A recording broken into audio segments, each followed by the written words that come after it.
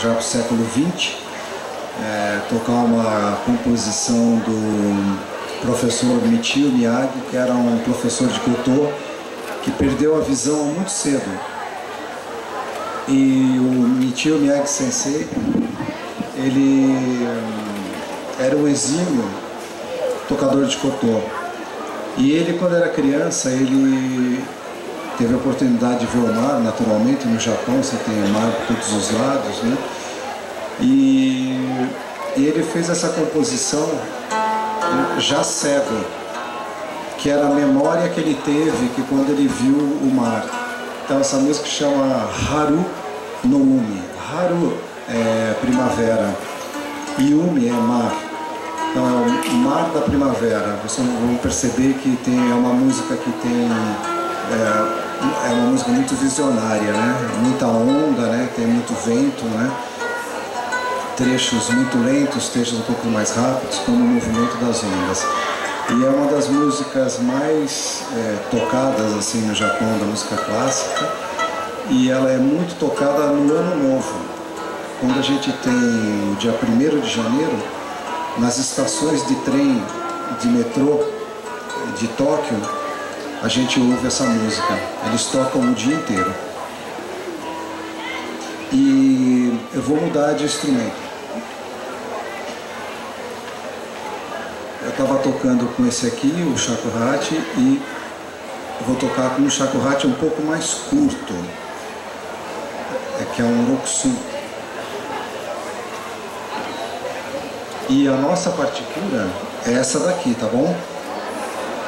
Nós estamos tocando, é, não é na partitura ocidental, tá bom?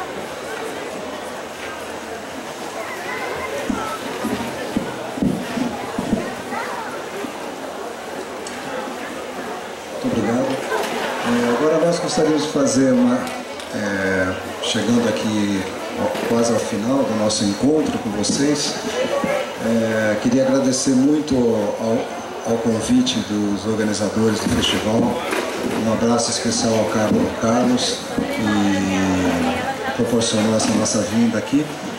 É, a chuva, às vezes as pessoas falam, nossa, a chuva estragou, né? É muito relativo, as plantas ficaram muito felizes de ter chovido, né? E eu acho que é uma boa oportunidade também da gente poder parar um pouco e ouvir a beleza desses instrumentos.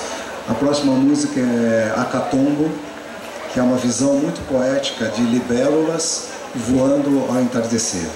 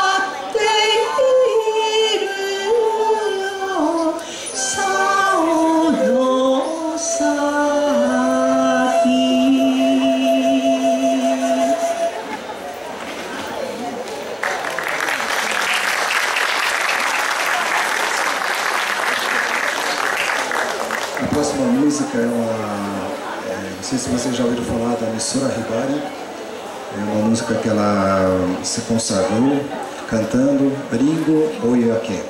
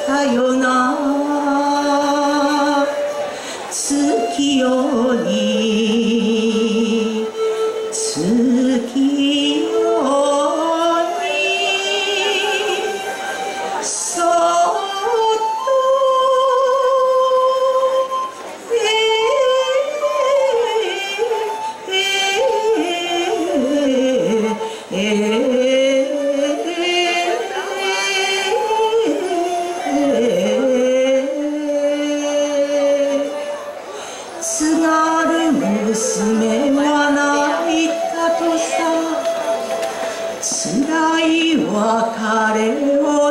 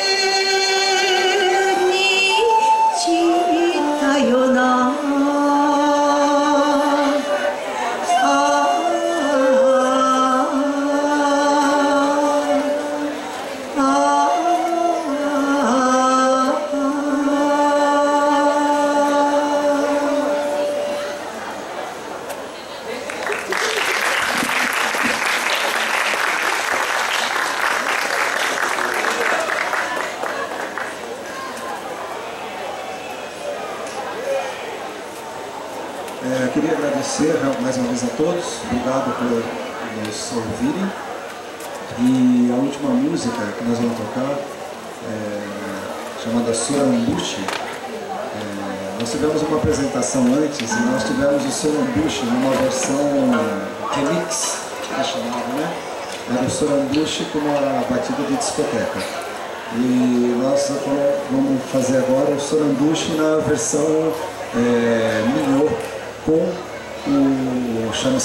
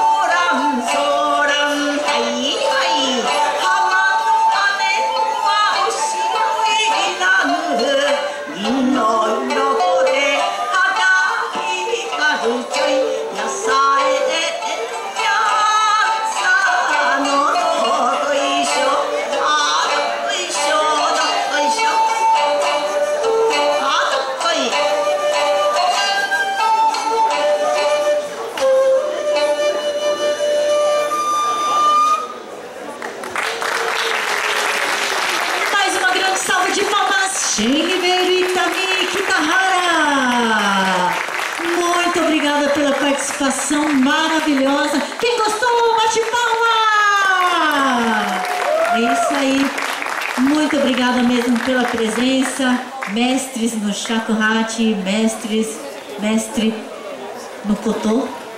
Muito bom. Eu queria dar uma palavrinha, agradecer o Shin Ribeiro por ter aceito o meu convite e a Tami Kitahara. Eu fiquei sabendo agora que a senhora Tami Kitahara ela é natural de Yamaguchi-ken. E eu aproveitei esse décimo Festival do Japão para fazer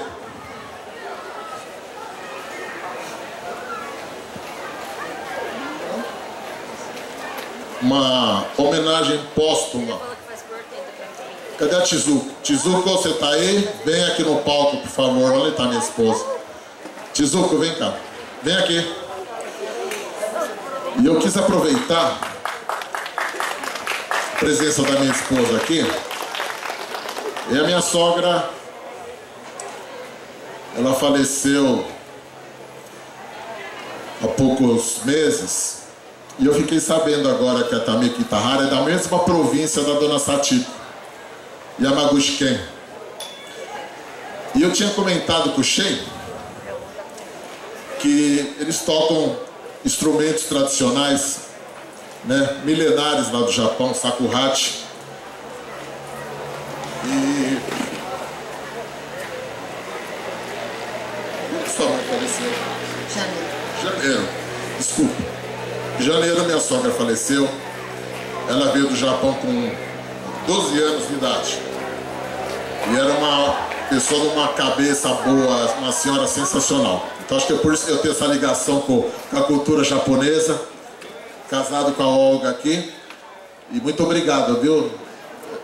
O, o Shen Ribeiro. Muito obrigado. Bom, é a, uma, as sogras que veio com 12 anos do Japão. Eu também, 12 anos, com 12 anos vim para o Brasil e agora estou divulgando, tem um monte de alunos brasileiros, né, descendentes japoneses de, de Koto e Shamisen. Eu fico muito satisfeita de poder contribuir um pouco pela cultura japonesa aqui no Brasil. E hoje, muito obrigada. Obrigado. É, você perceberam, a Tami Sensei é muito modesta. É, na, na, verdade, assim, ela é uma companheira de estrada. A gente tem viajado muito, a gente fez turnê na América Latina. Qualquer, qualquer é, empreitada ela topa. Aqui em Viedo também, eu falei, vamos lá, tal, ela, ela topou. Então, assim, ela está fazendo. E o trabalho didático. Ela representa uma importante escola de Kotô do Japão, chamado Seiha ela é mestre e hoje, como ela falou, essa missão de trazer para os brasileiros também a música japonesa e os instrumentos japoneses. Nesse sentido, Tami Sensei está fazendo um trabalho maravilhoso. É, eu, assim, é um, um, prazer toda vez que, eu, que a gente toca juntos, né? Já faz alguns anos, né? E eu espero que vocês tenham gostado e que, vou, e que a organização nos chame se pudesse no primeiro para o ano que vem, tá ok? Tá bom. Obrigado, viu? Obrigado a todos aí. Obrigado, Chico.